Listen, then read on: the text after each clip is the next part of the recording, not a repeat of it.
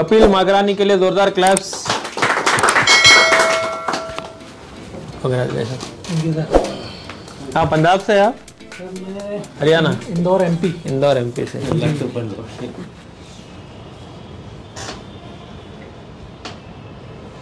चलिए कपिल जी आपकी सरकार भी चेंज हो गई उधर और आपके अंदर भी चेंजेस आ गया। अभी बीजेपी आ गया ना आपके पास?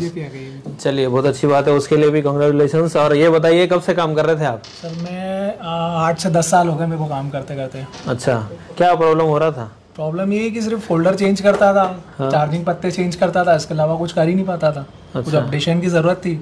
एक साल से लगभग फॉलो कर रहा था फ़ोन फिक्स हैदराबाद को। ये कि जाऊँगा जाऊँगा एमपी मतलब मध्य प्रदेश। मध्य प्रदेश। तो मध्य प्रदेश में कहाँ से आप? इंदौर। इंदौर से अच्छा। एमपी में तो काफ़ी सारे इंस्टीट्यूट है बहुत सारे हर महल्ले में मतलब हर सिटी में एक इंस्टीट्यूट दिखेगा वहाँ पे आपको। वो वहाँ पे नहीं जाके आप इतनी दूर आए हैदराबाद? सर वो इंस्टीट्यूट वालों को भी फ़ोन फिक्स हैदराबाद की ज़रूरत है। क्योंकि वहाँ पे बस ये है कि इसकी ये लाइन होती है इसकी ये लाइन होती है बोर्ड दे देंगे आपको वन बोर्ड दे देंगे। लेकिन यहाँ आके जो नॉलेज मिला है चालू बोर्ड पे काम करने देते हैं यहाँ। जी। बहुत गजब का नॉलेज मिला मतलब ये सर जो है ज्ञान का भंडार है।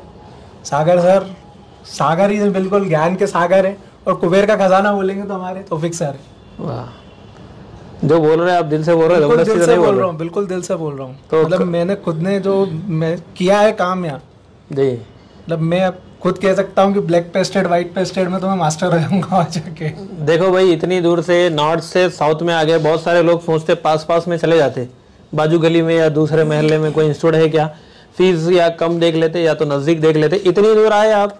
ट्रेन से एक दिन का सफ़र लगा होगा आपको? ट्रेन से है फ़्लाइट से से ट्रेन से कितना घंटे है यहाँ से? बारह पंद्रह अठारह घंटे कुछ लगता? है भोपाल से मेरी ट्रेन थी तो वो ट्रेन भी लगभग नौ घंटे लेट थी। देखो भाई। उसके बाद भी नहीं नौ घंटे लेट होने के बाद भी इतनी दूर आए क्योंकि कुछ चाहिए आपको कुछ हासिल करना है तो कोई ना कोई चीज़ को छोड़ना पड़ेगा। कुछ होना पड़ता है। हाँ आप शहर छोड़े इतनी दूर आए बीस दिन दिए यहाँ पर। बहुत लोग सोचते हैं यहाँ पे तेलुगु में तो बात नहीं करते ऐसा। नहीं नहीं नहीं क्योंकि लैंग्वेज समझ में आती नहीं ऐसा भी सोचते हैं। हिंदी हिंदी सभी समझते हैं यहाँ पे।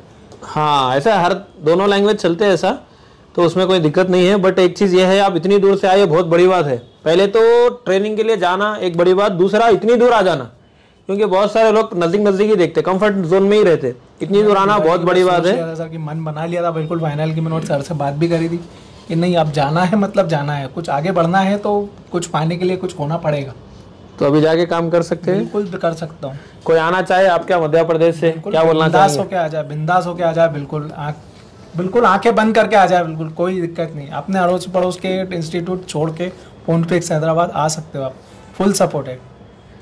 तो प्रैक्टिकल वगैरह सारा चीज़। अभी तो बोल रहे हैं आप मैं ब्लैक पेस्टेड का आईसी का मास्टर हो गया हूँ। क्योंकि इतना मतलब मेरे को ए फॉर एप्पल भी नहीं पता था ब्लैक ब्लैक पेस्टेड का लेकिन सागर सर ने जो ट्रिक्स दी हैं उसको निकालने की। गजब की ट्रिक्स हैं। इजीली ब्लैक पेस्टेड खोल रहे क्लीन कर रहे हैं। इजीली बिल्कुल इजीली वाह देखो भाई हैंड स्किल ज़रूरी है साथ में सर्किट की नॉलेज चेकिंग मेथड भी आना। दोनों चीज़ पे यहाँ काम करा रहे आपसे। और रही बात तीसरी फिर हार्डवेयर के बाद में इमनसी प्रोग्रामिंग यूएफएस प्रोग्रामिंग अभी मार्केट में यूएफएस ही मिलेंगे आगे जाकर के छह महीने बाद।